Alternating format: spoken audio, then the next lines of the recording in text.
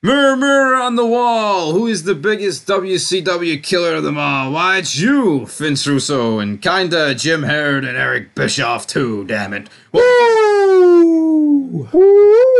Take out your CW and add in a few because Ric Flair is hitting some truth bombs. We thought we heard the last of WCW, but apparently it's only part two of a part four docu-series that's coming out here, and chaos has erupted.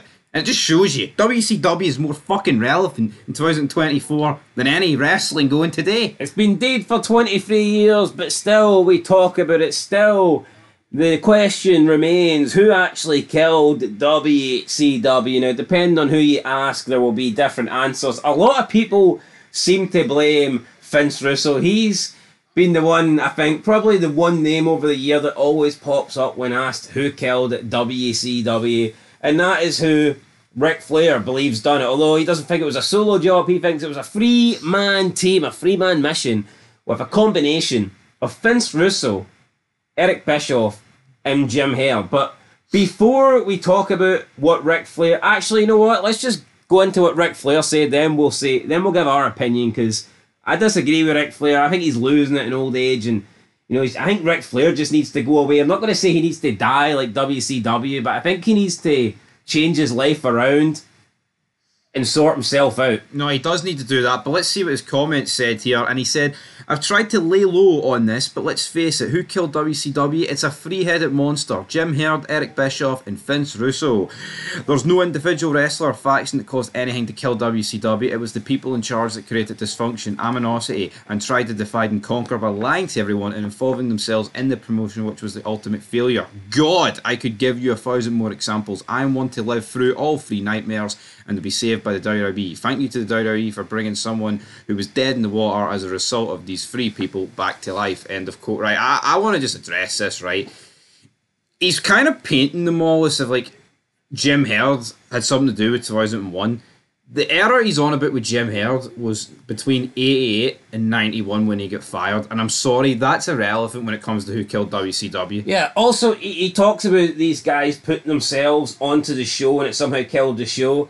Wasn't Eric Bischoff on the show pretty much every week for the 83 weeks that WCW was kicking WWF's arse?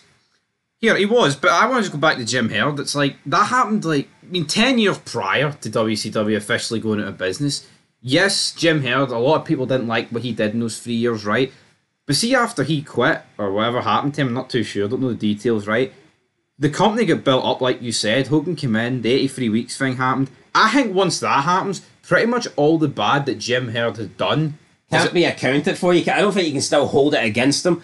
Plus, let's talk a little bit about Vince Russo. You can say he killed it, but really, by the time he came in, WCW was on the way down and WWF was on the way up. Yeah, the writing was on the wall. I mean, they, they brought Vince Russo in for that reason that they kind of needed something because they were losing the battle. So it's not like WCW were in a great position, healthy position Vince Russo comes in, then all of a sudden they start started tanking and WWF takes a lead. WWF were already beginning to win this war. You can talk about who killed WCW. Do you want to blame it on anyone, I'd, I'd blame it on Austin. Because I, I think it was I think it was WWF just improving that killed WCW. Yeah, and what you've got to say is it, the Attitude Era essentially turned the tide. Vince McMahon. Yeah, so we can talk about who killed WCW. Essentially, I think it was the people involved in WWF because they were the ones that pretty much won the war, and then McMahon put the final nail in the coffin. But what I would say is, but if WWF continued to stink the joint out, then WCW would have been all right. WCW would have been thriving. See, Vince Russo, I, I I'm not going to say no blame completely, right? But I, I look at Vince Russo and I think if he didn't go to WCW, I just think it would have been a bit more blander. I don't think there would be all these crazy forklift matches, you know, 20,000 fake of the world title. I just don't see how it would have been kept alive if Vince Russo didn't go. I think Vince Russo's period in WCW is underrated. It was entertaining. Now, obviously, people quit, right? And Maybe if Russo doesn't go, you don't get like the bash at the beach incident. Maybe the Radicalz re-sign. I'm looking at things like that. But at the end of the day, is I mean, I just think it delays the inevitable. Maybe they make it the mid 2001 instead of the fucking first third. Is there a difference?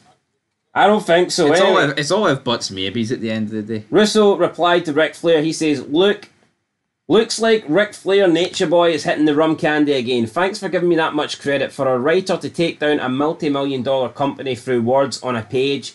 I guess I really was special. Not my fault you weren't in the dock, Ric. Sorry, man. I hope you don't think my excessive use of your son David and the rest of your family, for that matter, who were all great, by the way." Wasn't the knife that drew the company's last blood? Yeah, I failed at laying low too. End of quote. So that was Russo's first reply to Ric Flair. Uh, Ric Flair wasn't done there though.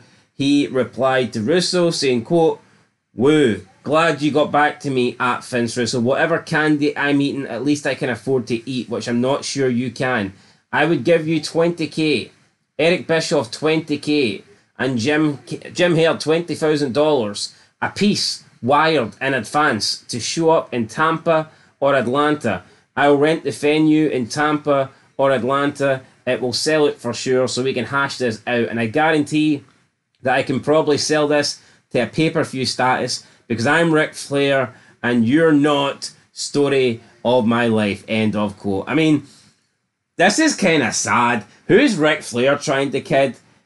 20 do- 20 grand here 20 he's just gonna he's gonna wire 60 grand to three people that he claims to hate three people that he claims to kill WCW Ric fucking Flair the guy that is how many times this guy filed for bankruptcy how many wives is he paying money to uh, this guy will do anything for a, a, a check a dollar he's desperate yet he's pretending he's got money um, you know coming out his fucking ears I would bet that I think Eric Bischoff would have a healthier bank account than Ric Flair. I would bet on that too. Uh, I look at this and I just think, right, I know he's not. Eric Bischoff's comfortable. He owns like his ranch and his horses, and I think Bischoff would have money. no, I think he would too, but I look at Flair here. He's not exactly said that he's going to fight these three, but Well, that's pretty much what it is. He's yeah, he wants to hash it out. Let, us just put this into some well, context. hold on. here. He's hardly putting on a pay per view to talk. Well, that's what I'm saying, but here. He's not. He's not exactly. It's not hundred percent guaranteed here. He wants to batter off freedom. But let's look. I, I think Bischoff would batter Ric Flair. yeah, well, let's talk right. Russo. Don't know about Jim Herd. Aye, well let's, that's what I was going to get to. Jim Herd is 85 years old. Right? I know I know he might have did Flair wrong and fired him back in 91. Flair is 2024, son. I'm saying son like he's not 50 years older than me. I Plus, Vince Russo's a big guy, and he's mean, only I'm got talking about Jim Herd here. Yeah, I know, but let's just take Jim Herd out of the equation because he would- he he would be lucky. He wouldn't make it to the ring.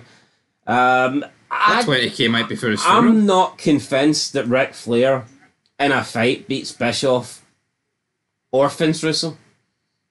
Vince Russo's a pretty big guy. And they're a lot younger than Flair.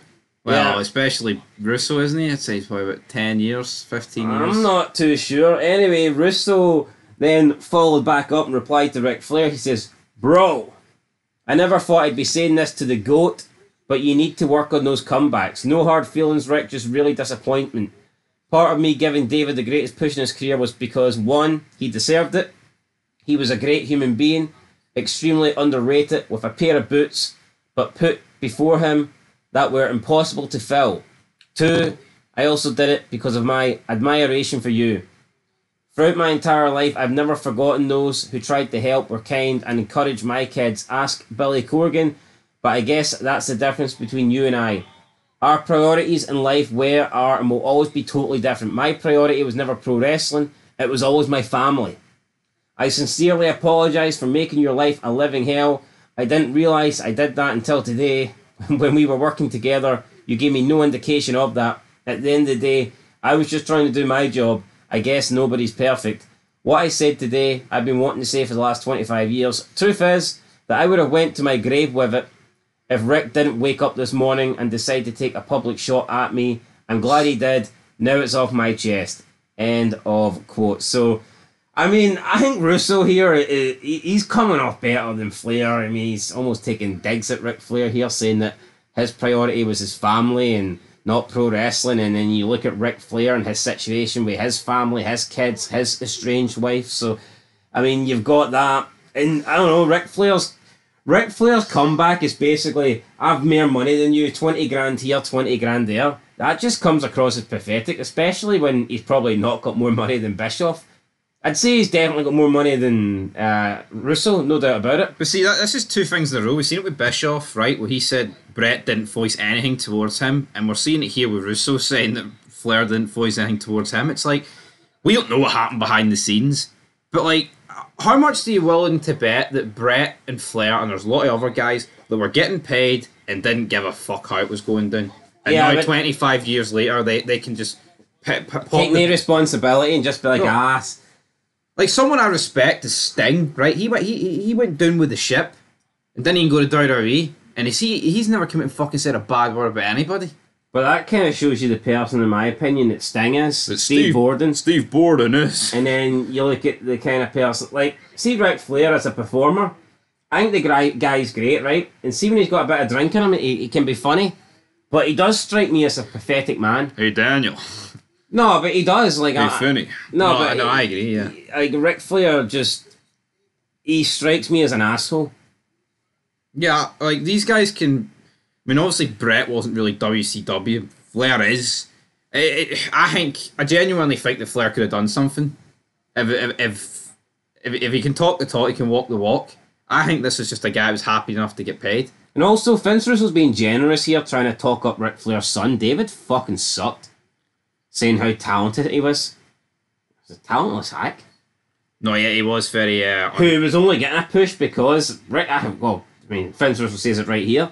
He pushed him because of his admiration for you, yeah, and and I think that's the goddamn truth. David Flair doesn't have that second name, and there's no way he's getting all that screen time that he got in WCW. So, um, yeah, no, look, you can say what about Vince Russo. but you never see anything. You never, you've never really heard anything for Flair. Like if you think it's like you always think of like Bash at the Beach and Hogan grabbing the mic and be like, "That's why this company's in the place it is because of people like you." you never hear that for Flair. It's almost like Flair was just too pissed. Because I think Flair was just happy to take the paychecks, kiss ass. He comes across as this guy that, oh, I- I'll speak up, I'll do this. I think he's a fucking brown noser to the max. No, I And then as soon as he, he can't use you anymore, he dumps you. well, I don't. I think Hogan's the opposite. I don't think Hogan is a brown noser. I think No, Hogan, but people would Hogan's a brown noser for himself. Ah, but people would uh, people would say, "Oh, aye, Hogan is." I don't think so. I think Hogan's got a backbone, and his back might not be what. Maybe he's got no bones left in his back, but I do think he's got a backbone when it comes to standing up for himself. Yeah, it's like say you want about Hogan. I mean, he actually called out Russo on fucking pay per view. Aye, live. Aye, you know, Flair's doing it 25 years later. And, and Russo's saying, well, why didn't you do it to my face, sort of thing? And I've just never seen Ric. I've never seen Hogan come out and make tweets like this. Every time Ric Flair makes a tweet like it, it's very fucking cringe. Yeah, you're right. I mean, he's essentially calling three guys out. Here, oh, I would say, talking or fighting, I'd tune in. You'd tune in. Aye, give- I'd give- be there. Give Ric Flair a Tell you what, see all this grams. talk about that. I'm fucking tempted to watch it. The clusterfuck that's WCW at the end. Yep, can't wait. We, I think we'll review it Monday Night Wars, Attitude Era. Who wants those reviews on the channel? Fuck, fuck the, fuck, fuck the attitude there. I'm all about the WCW. 2000. WCW, man, the Nightmare Run. Anyway, that's The only thing I would agree with Flair is I don't think one person killed it, no faction. I, I, I just think it it's everyone. I think Ric Flair and Bret Well, I'll tell you what, I think Ric Flair's performances during that period were so shite that he should take a, a part of the blame as well. Guy No. was atrocious. I, I just think it's a collective unit of all these guys that came in and just accept all these like guaranteed contracts. And yeah, it's not their fault for taking the money, right? But it's like Yeah, well, the guys in WWF were fighting for their lives, and the guys in WCW were like, ah, well, win, lose, or draw, we're getting paid, so, yeah. yeah. And a lot of those contracts didn't run out to you know, Nah, Later. after, after WCW's well dead. and they so- were still taking the money off Ted Turner, weren't they? So So there you go. That kind of sums it up there. I- Anyway, Ric Flair, fucking loser. No, he is a loser. I, I'm losing respect for the guy. By each passing day. Aye, I think it would just be better if he retired for social media, didn't say it. But look, no wonder people say, well, why can't WWE use him? Why can't he be a. No wonder WWE don't put this guy, especially the direction they're trying to go. co- Putting Ric Flair on TV is like fucking putting Sexyy Red on TV. You know, you know she's going to twerk and just make a fucking absolute slut of herself, and then you know Ric Flair. You wouldn't be surprised if he does the same. Twerk. I, I mean, he's- I wouldn't put anything Plank. past Ric Flair. yeah, Ric Flair, Fucking guys. Probably do a helicopter spin live on Raw. I'll be interested to see what Eric Bischoff says. You responded to Bret. Will you respond to Ric? Till next time. Peace.